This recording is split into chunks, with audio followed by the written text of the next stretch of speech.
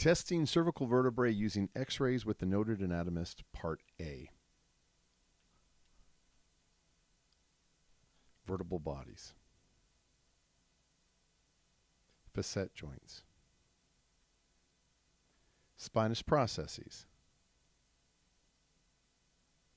laminae, the vertebral canal or vertebral foramina with the spinal cord. Pedicles, in oblique view, pedicles, the intervertebral foramen surrounded by the pedicles,